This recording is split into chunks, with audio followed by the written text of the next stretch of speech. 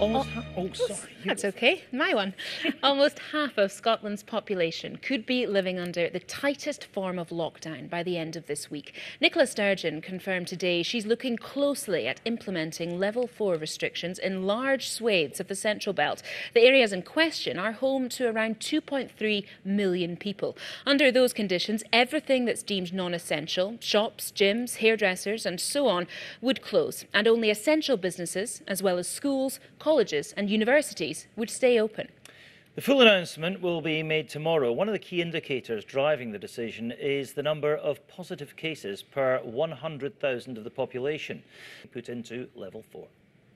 The Nine's political reporter David Wallace Lockhart has been speaking to some businesses in Greenock who could be forced to close by the end of the week.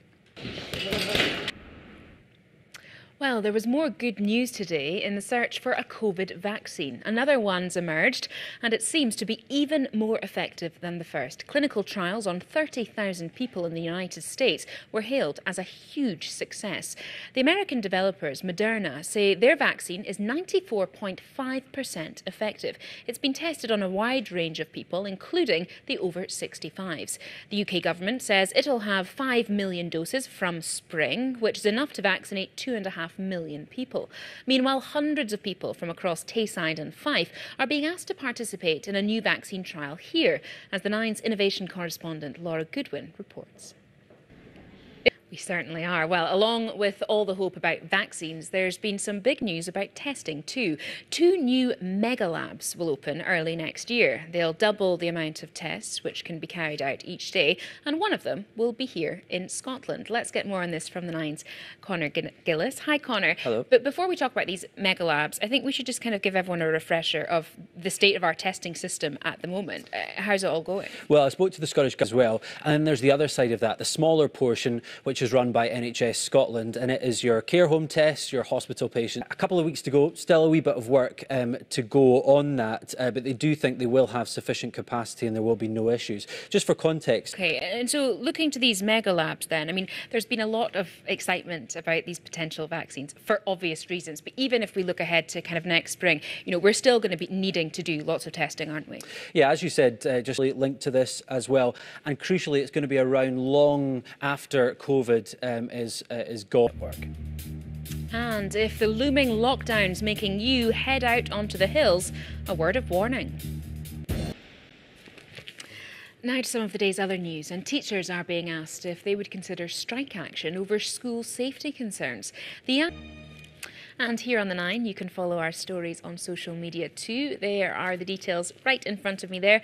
We're on Instagram and Twitter at BBC Scot 9. Now, more than three weeks after ministers here announced routine testing for home carers, we still don't know when the policy will be rolled out.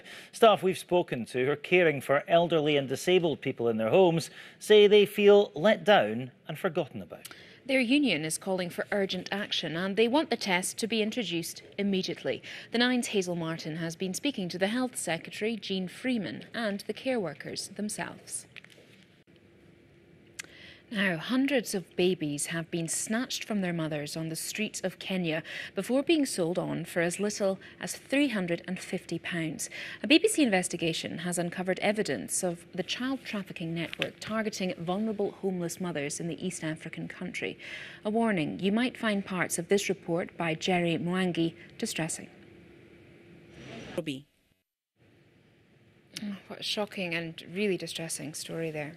Okay, let's have a look at the sport now, shall we? With Amy. Hi, Amy. Hi, Rebecca. Thank you very much. Good evening. The Scotland women's head coach, Shelley Kerr's. And I still don't really know why they picked Wrexham, but I'm sure the fans will be delighted with the money that I went to put Never mind Wrexham. What about these motocross bikes? I know, it was incredible, wasn't it? How many takes did your piece of camera take, Amy? I will show you the first attempt where I tried to say it and then, because I planned to start off, but I kept stalling, so I realised I had to keep moving. But know, yes, it took about 20 takes, Rebecca. Well. There is nothing I would have loved more as a child, and that was my dream. You know the closest I got to it? I used to attach a playing card with a clothes peg to the back wheel of my bicycle. So when it went through the spokes, it went and I made a noise like a motorbike when I went around the street. Well, times have eight. changed. Oh, Martin, what an image that is. The oh, closest you ever got. I would have loved it. I would have loved it. What a dream. Thanks, guys. Well done, Cheers, Amy. See you soon. Now, who should decide what we can and can't say? It's a simple question with a difficult answer. Earlier this year, the Scottish Government introduced new legislation aimed at cracking down on hateful and offensive speech.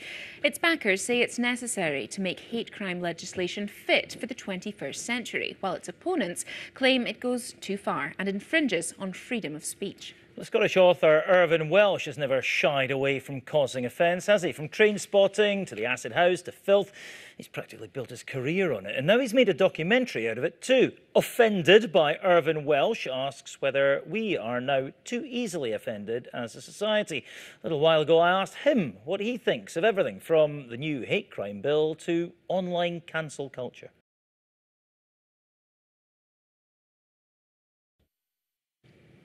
Now, to report, the Chancellor, Rishi Sunak, is eyeing up a plan to charge drivers to use roads. He wouldn't confirm or deny the rumours earlier, but if a so called road pricing system does come into force in the UK, what might it look like? Well, here to take us through it all is the Nine's Consumer Affairs correspondent, Nick Sheridan. Hi, Nick. Hello there, Rebecca. How are things? Yes, of course, tell you, Rebecca. Thank you very much indeed for that, Nick. Now then, the restrictions we are all living under at the moment have scuppered so many things we used to take for granted, haven't they? Heading off for a weekend's Melrose. It's impacting absolutely everything, isn't it? It really is. Now then, I don't mind telling you, I absolutely love this story. It concerns our new unofficial national anthem. It happened after Scotland players, of course, were filmed singing Yes Sir I Can Boogie in the wake of that massive win in Serbia last week. Well, those scenes of joy shared so far and wide on social media have helped propel the song high into the charts. One of the singers from the band who recorded it, Baccara, has now said she wants to re record a special version when the team play in the European Championships next summer. Let's look back at how the original and the Scotland version compare. Well, earlier we spoke to Baccara singer Mar- Maria Mendiola about how she feels seeing her 70s hit return to the charts. Raining a great deal in Glasgow just now, Maria. You would never have imagined back then that 43 years later your song would be the favourite of the Scottish national football team.